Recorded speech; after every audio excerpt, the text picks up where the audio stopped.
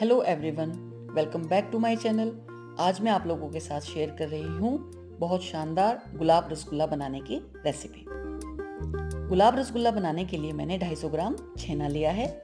ये छेना मैंने घर पर तैयार किया है। आइए सबसे पहले तो हम घर पर आसानी से छेना बनाने का एक क्विक रिकैप देखते हैं। ये रेसिपी मैंने आप लोगों के साथ पहले भी शेयर की है। और इसका लिंक मैं डिस्क्रिप्शन बॉक्स में आपके साथ शेयर कर रही हूँ। आप वहाँ से इसको देख सकते हैं। वैसे मैं इसका लिंक आई बटन में भी ऊपर डाल रही हूँ। आप यहाँ से भी इसको चेक कर सकते हैं। इस तरह से घर पर हम स्टेप बाय स्टेप अच्छी तरह से छेना बना सकते हैं। बहुत हल्का स्टेप है, बहुत आसानी से आप इसको बना सकते हैं। मैंने इसमें आपको अच्छी तरह से बताया हुआ है कि किस तरह से हम घर पर छेना तैयार कर सकते हैं।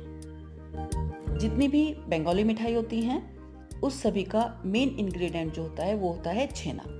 और जब एक बार हमें एक परफेक्ट टेक्सचर का छेना तैयार हो जाएगा, यानी जब हम उसको अच्छी तरह से घर पर तैयार कर लेंगे तो हमारे लिए बहुत इजी हो जाता है कोई भी बंगाली मिठाई आसानी से बनाने का। इस छेने से आप रसमलाई, रसगुल्ला, छेना खेल चमचम, कोई भी बंगाली मिठाई आराम से बना सकते हैं। मैंने इन्हीं सभी स्टेप्स को फॉलो करके और इस तरह से देखिए, ये छेना यहाँ घर पर तैयार किया है। ये 250 ग्राम छेना तोल में है और वैसे ये एक लीटर दूध से मैंने तैयार किया है। अब हम चलिए इस छेने से गुलाब रसगुल्ला बनाना शुरू करेंगे। छेने को एक परफेक्ट टेक्सचर देने के लिए और वो अच्छी तरह बाइंड हो जाए, एक छोटा चम्मच में मैदा यूज़ कर रही हूँ। छेने को हम अच्छी तरह क्रम्बल कर लेंगे। और क्योंकि हम गुलाब रसगुल्ला बना रहे हैं तो इसके लिए हमें छेने को पिंक कलर देने की आवश्यकता है। यहाँ मैं कुछ बूंदे पिंक कलर की यूज़ कर रही हूँ। ये ज़रूरी है, तभी छेना हमारा गुलाबी रंग का हो जाएगा। अब हम एक बार पिंक कलर और मैदे को छेने के साथ अच्छी तरह से हाथों से मिक्स कर लेंगे।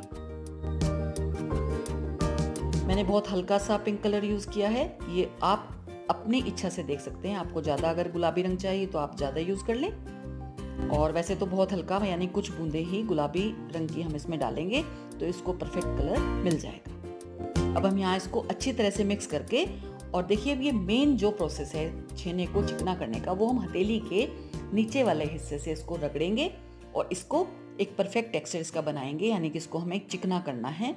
बहुत अच्छी तरह से इसके अंदर कोई भी मोटा ग्रेन्यूल नहीं बचा रहना चाहिए। और इस तरह से इसको हम रगड़ रगड़ कर अच्छी तरह से, यानी करीब हमें 10 मिनट करीब इसमें लग जाएँगे। और ये देखिए, मैंने इसको बढ़िया तरह से तैयार कर लिया है। इसको एक थोड़ा सा लंबाई में मैंने शेप दे दिया है। इसको इक्वली डिवाइड कर लेंगे। और अब इससे हम रसगुल्ला बनाने के लिए लगभग इक्वल साइज़ की बॉल बनाकर तैयार करेंगे। इससे मैं आठ रसगुल्ले बनाकर तैयार कर रही हूँ। यानी नॉर्मल साइज़ के हैं ये। और इतने छेने से हम आठ रसगुल्ले बनाएँगे। इसको मैंने आठ भागों में डिवाइड कर लिया है और अब हम इसको गोल करना शुरू करेंगे। प्रोसेस आप देख सकते हैं, एक बॉल उठाएँगे, उसको हल्का सा गोल करेंगे, हथेलियों के बीच में लाएँगे और बहुत धीरे धीरे उसको हम प्रेस करेंगे। ऐसा करने से क्या होगा? इसके अंदर स्पंज अच्छी तरह से बनेगा जब ये पकेगा। इस तरह देखिए, बाद में हम उंगलियों से उसको शेप देंगे और एक बिल्कुल बिना क्रैक की बॉल बनाकर तैयार करेंगे। आप अच्छी तरह देख सकते हैं। इस तरह से हम एक बिल्कुल बिना क्रैक की बॉल बनाकर तैयार करेंगे। दूसरा भी मैं आपको दिखा रही हूँ। हथेलियों के बीच में लाएँगे, उसको हल्का हल्का सा हम दबाएँगे और दोबारा से उसको हम गोल शेप दे देंगे। उंगलियों से उसको हम परफेक्ट एकदम राउंड करेंगे और इस तरह से हम सभी रसगुल्लों को बनाकर तैयार करेंगे। ये आप ध्यान रखें कि इसमें कोई भी क्रैक नहीं पड़ने होना चाहिए।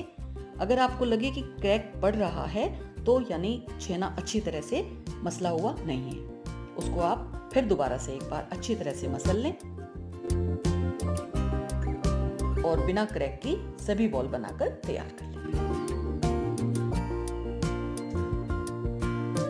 ये आप देखिए इससे मैंने सभी रसगुल्ले बना लिए हैं। और अब इसको पकाने के लिए हम चाशनी बनाने की तैयारी करते हैं। चाशनी बनाने के लिए मैंने एक कप चीनी ली है और उसी कप से नापते हुए पाँच कप मैं इसमें पानी ऐड कर दूँगी। यानी एक कप चीनी में हम पाँच कप पानी डाल देंगे और इसको रोज़ का फ्लेवर देने के लिए हम रोज़ एसेंस थोड़ा सा इसके अंदर कुछ बूंदे डाल देंगे। चीनी को उबलने देंगे।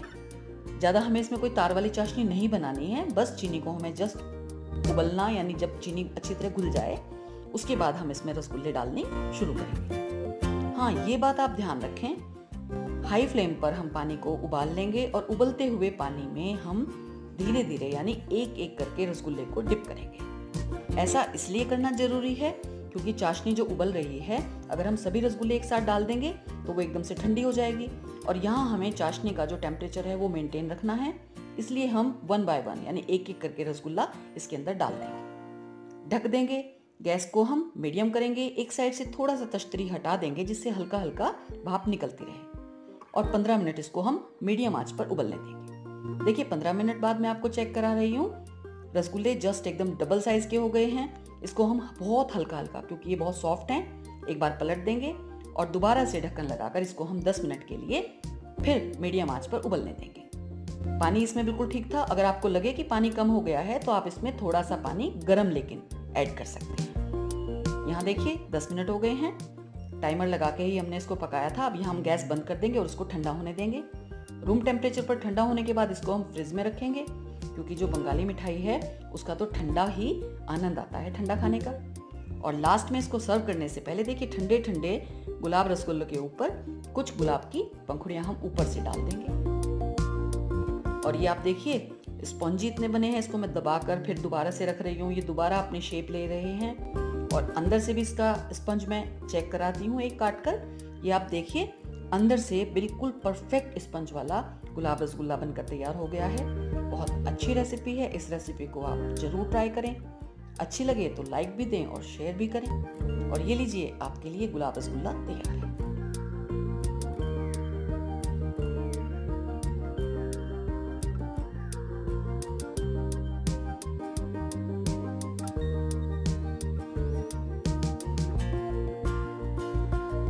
आपको मेरी बनाई हुई रेसिपीज़ पसंद आ रही हैं तो मेरे चैनल को ज़रूर सब्सक्राइब करें बेल आइकन दबाना मत भूलें। आप मेरे साथ इंस्टाग्राम फेसबुक ट्विटर और प्रिंट्रेस पर भी जुड़ सकते हैं। प्लीज़ मेरे चैनल को सब्सक्राइब कीजिए। ज़्यादा से ज़्यादा लाइक दीजिए और आपकी जो भी क्वेरीज है, मुझे आप कमेंट बॉक्स में लिख सकते हैं। Thank you.